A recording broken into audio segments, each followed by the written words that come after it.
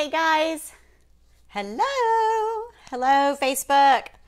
Hello, Tracey's Fancy Facebook. I am continuing my live from Dixie Belle Paint page. I just finished almost an hour over on their page um, showing people how to do this old world new, excuse me, neutral old world look that I have going on on the store over there. Um, this is a custom order from a client that wanted a neutral old world with a touch of whimsy look. And so this is what we have going on. We've used lots and lots of colors. Hi, Miss Terry. We've used lots of colors and a sea spray additive to the paints to add a lot of texture, um, which really helps when you add a lot of texture.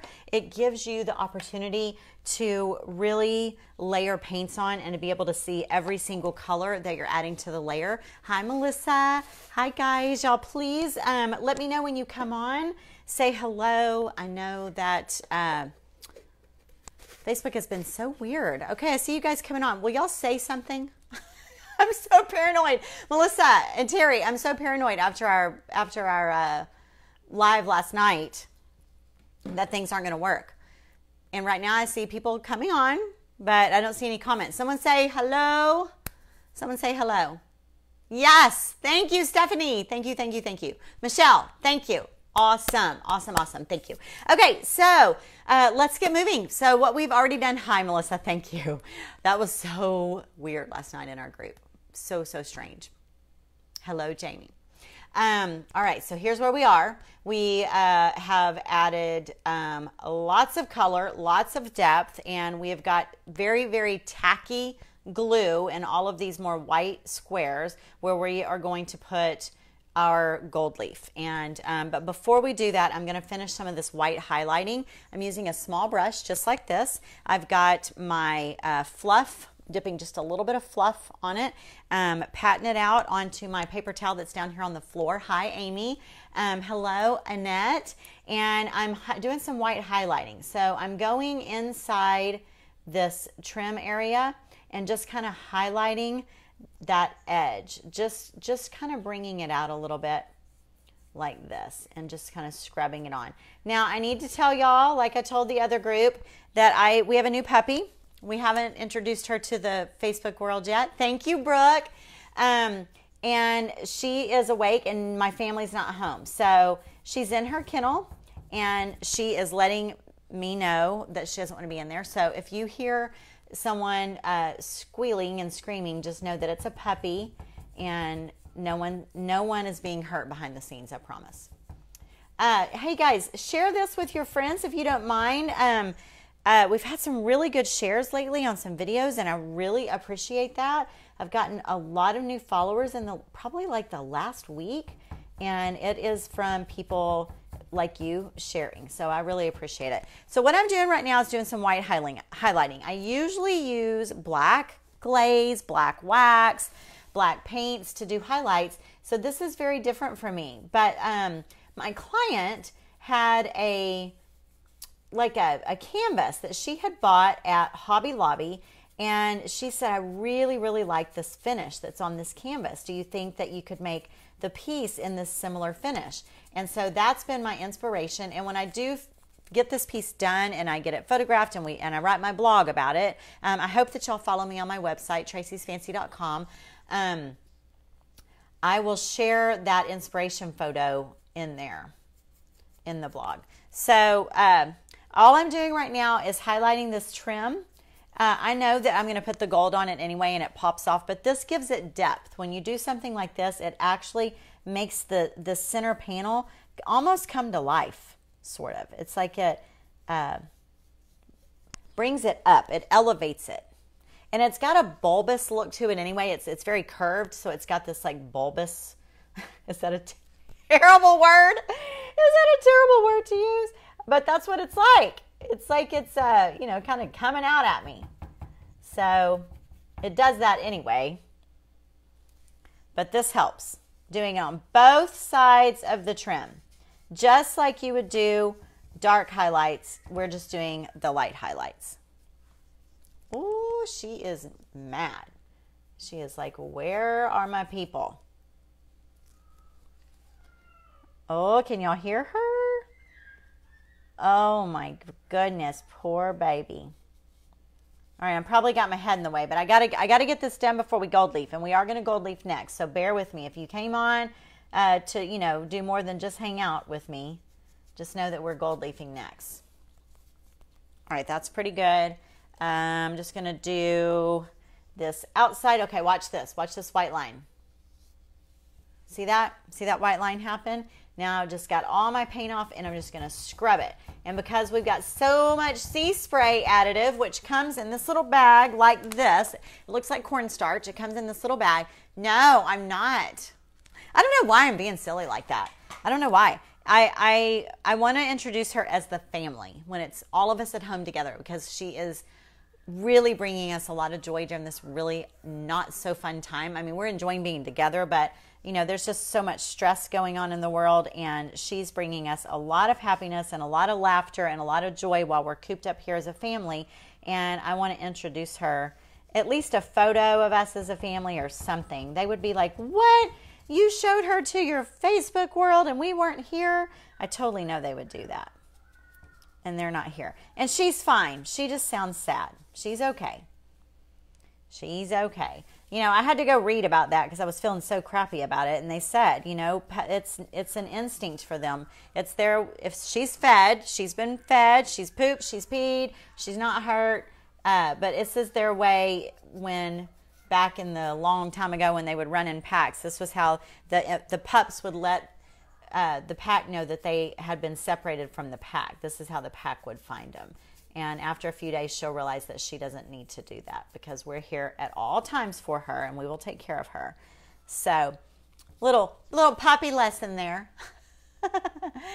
um, oh, y'all are talking to each other. I love that. Okay, so do y'all see how it's highlighted? I think I've highlighted the whole thing, right? Just this bottom part, maybe. I don't think I did it real well right here. Let me do that. All right. That's a little more than I would like, but okay. Okay, so now let's do some gold leaf, peoples. And then we'll go back and add some more white at the end. We'll dry brush some more white on um, at the end. So let's do it. The gold, we've already put the adhesive on. I used a small brush like this and I poured some, does Sparkles want to take care of her?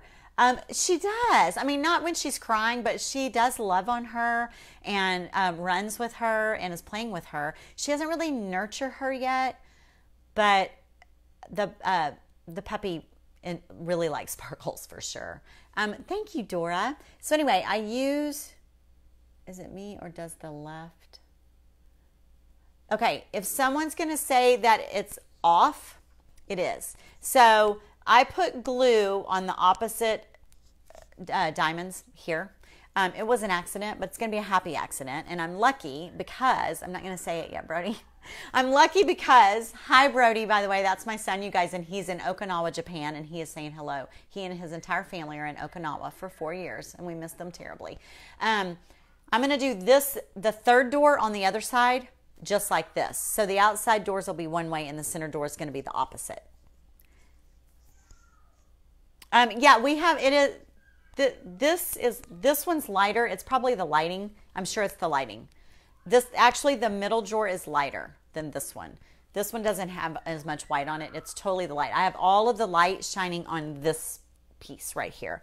So don't worry, guys. Don't worry. I got it balanced. I promise. So anyway, I poured the adhesive into the bowl and I put it into my squares my triangles, my diamonds, whatever those things are, my harlequin pattern. So now I'm going to take my gold leaf sheets.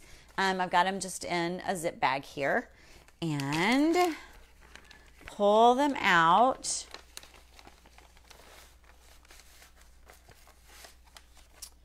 And we'll start with one sheet. Actually, I do need another brush. Let me grab another another brush.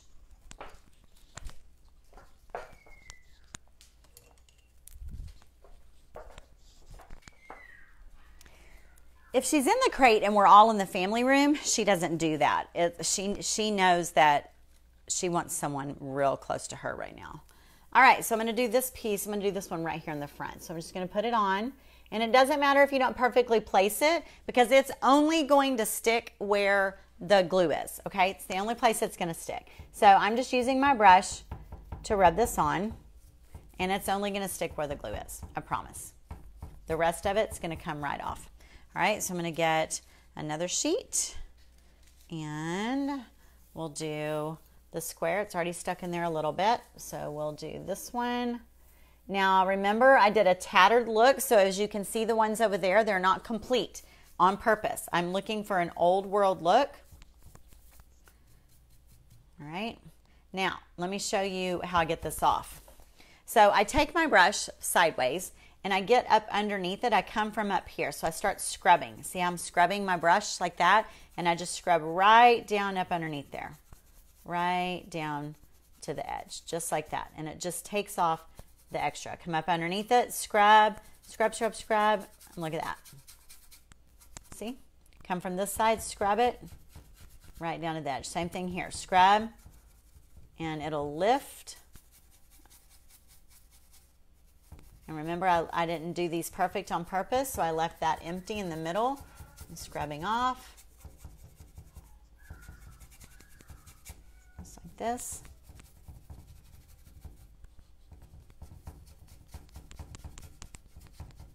And there we go. There is a tattered harlequin. Now this one's wanting to get on that one. That's fine. And look at that. It will not come off. It's on there. It's on there for life. So I'm going to scrub this one off. There we go. There's another tattered one. See how pretty that is? Now this one's already found its little home down here and that's fine. Your, your square does not have to be perfect. In fact, I can pick up the scrappy piece right here. Um, uh, Lonnie, it was very, it was a very spontaneous thing. Uh, I will tell you the story. So Matt, Matt and Zadie have been wanting a dog for, you know, we had a huge lab. We used to have this big lab. We had for 14 years. Um, big part of our family, big part of my history. She was my dog while I was single. She was my teenager's dog. You know, it was very, very hard when she died. And um, we, uh, they've been wanting another big dog, but puppies, hello, they're a lot of work. And, um, you know, Zadie's in sports and school and she's not home that much. And Matt's not home that much. It's me. I work more than anyone else in the family. I work more hours. I work full time, run two businesses from home. However, they were, you know, going to want me to take care and, and train and raise this puppy. So all along I've been telling them no. Well, then we got the coronavirus, you know, not not we got it, but the world gets the coronavirus and all of a sudden we have a teenager who's home with no school and I have a husband who's home not working and I was like, "Hmm. Everybody's sad, everybody's, you know, getting grumpy because we're stuck. Maybe this is a good time to go ahead and get that dog y'all were wanting because now while I work, y'all can train the dog. So uh, y'all can, you know, do the potty training and the sleep training. And Matt is. Matt's doing the sleep training. Um, let's see, where's my sticky? Where am I sticky at? Up here? Some sticky? I Gotta find all my sticky. So that's what we did. And we got online and started looking, and Matt drove all the way to San Angelo the other day uh, three hours each direction last Sunday, I think, and picked her up. And so now we have a new member of the family, and she has a lot of work, but it's really not bad with with the three of us. It's not bad, and that's what I wanted. You know, I didn't I didn't want to be the only one. But oh my gosh, she's so mad. Okay. So basically, you see what I'm doing here, right? I'm just curious what it's going to look like as an opposite from the other side. But this isn't the finished look, y'all. Um, this isn't the finished look because I still have highlighting. I've still got to add white. Uh, I've still got to add the gold. This is just one of the steps, part of the layering.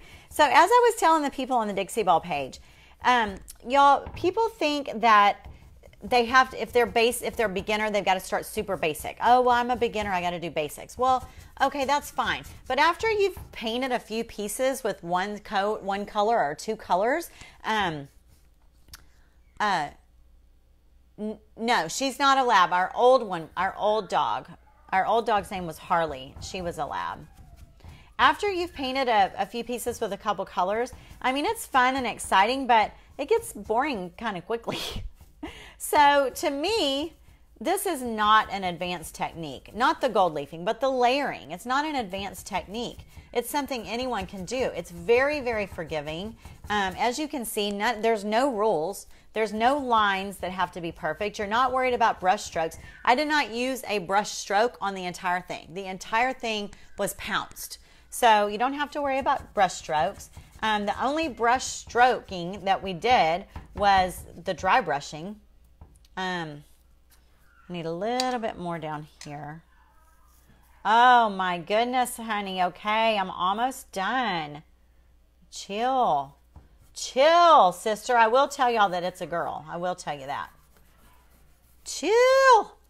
All right. Let me get this last one on. Everybody's feeling bad for her, I'm sure. Y'all are like, go get the dog.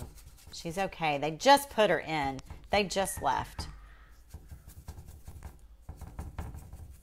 All right. She can just hear my voice.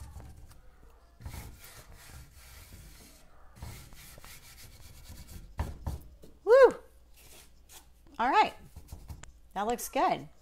So you just want to run your brush over it, rub it down, make sure it's adhering really well. Uh, you can feel around to see if you've got any sticky spots left, and I don't.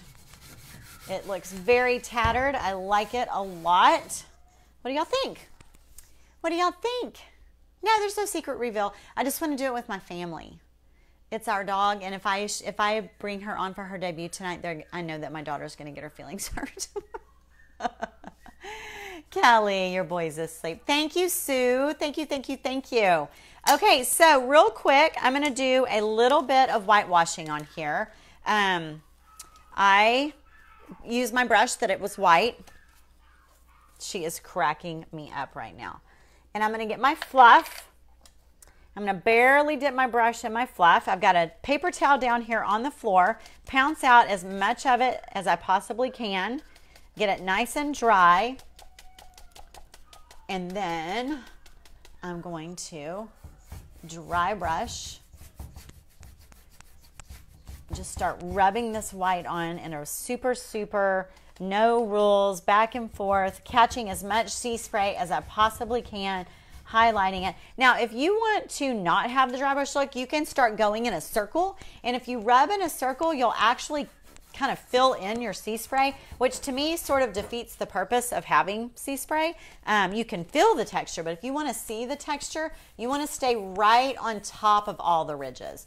If you go in a circle, you fill it all in. You don't want to fill it in. You want to stay on top of it.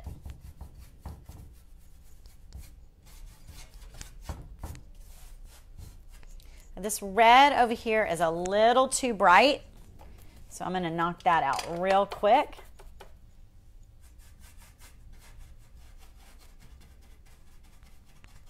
And that one I want to maybe circle over a little bit because I do want, I don't want it. And but I've still got to do this out layer. I've still got to do gold and stuff on the outside. So.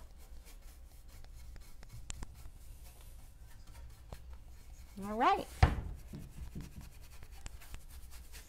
What y'all think? Anybody have any questions? You like that they're different, Brenda? Thank God. Thank you. I, I wasn't sure. I think I will when I get the gold on it on the outside and I do the other door to match it. I think that that will keep it from being like bump, bump, bump, like it's been stamped on, you know, across the front. So um, we have, t- oh, y'all talking to each other? Yes, our dogs are indoor dogs. Are all the highlighted raised parts done in gold paint or gold leaf as well? No. So I'm going to tell y'all um, this is gold leaf, but these areas right here are a new product that I don't think is available to purchase yet, and it's by uh, Wood. It's by Would You Been Molding, Sully Joe. Um, they are pigments called uh, Posh Pigments, and this is them right here. She sent these sent them to me. They are like uh, like mica powders and it's called Posh Pigments. She has several, I think, three different types of gold, and um, I used a mix. I mixed two different pigments. Uh, however you say this, Byzantine or Byzantine, By, By, Byzantine gold and brilliant gold. Why do they use words that I can't pronounce? I don't know what that is. Um, and brilliant uh, gold. And I mixed the two together and I mixed them in um, Dixie Belle's Top Coat Gloss the gloss because it keeps it super shiny. Um, you just mix it, mix it, mix it, and it makes like a liquid gold. I've always used that liquid gold in the tiny little bottle, but this allows me to make it as thick or as thin as I want, as sheer as I want, or as opaque as I want. Um, so I really like that.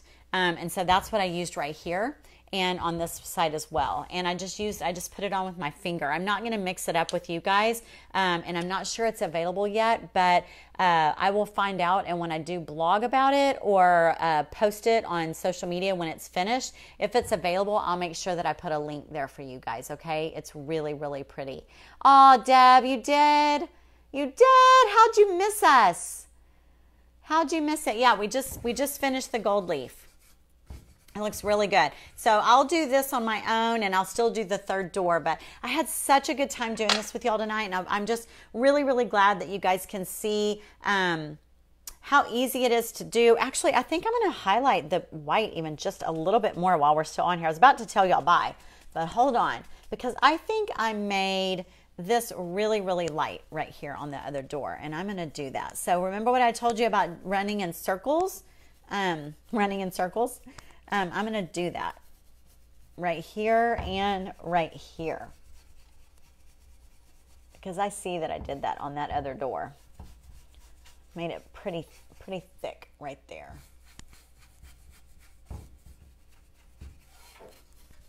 And the doors are not matchy matchy. If you watched me over on the Dixie Belle page, you saw that uh, that there was no rhyme or reason to where I was putting whatever I was putting. So down here on the bottom, can y'all see? Can y'all see down here? If I move the camera, I lose internet. Um, down here on the bottom, same thing. I'm gonna just kind of highlight down above the, right above where that trim is gonna be. That I'm gonna trim out in gold. Get it nice and highlighted. Cover up a lot of that gray. I don't want this piece to look gray. I want it to look more uh, like a stone color with a gray undertone. So this has a very, very, very stone look, you guys. Y'all see all this extra gold leaf down here? You see all that? Don't get don't get rid of that. Bag that up. You can use that. And it's because you know it's expensive. So bag that up. Sea spray all the way. Sea spray. See, I moved the dang camera and it's like, whoa, don't get weird on me. Okay, sea spray. Sea spray, sea spray. All I love you guys. Y'all stay safe, stay healthy. Um, thank you. Share with a friend if you don't mind. Um, and hello, Susie. Um, thank you, Betty, for dang, dang, dang. Don't go, don't go.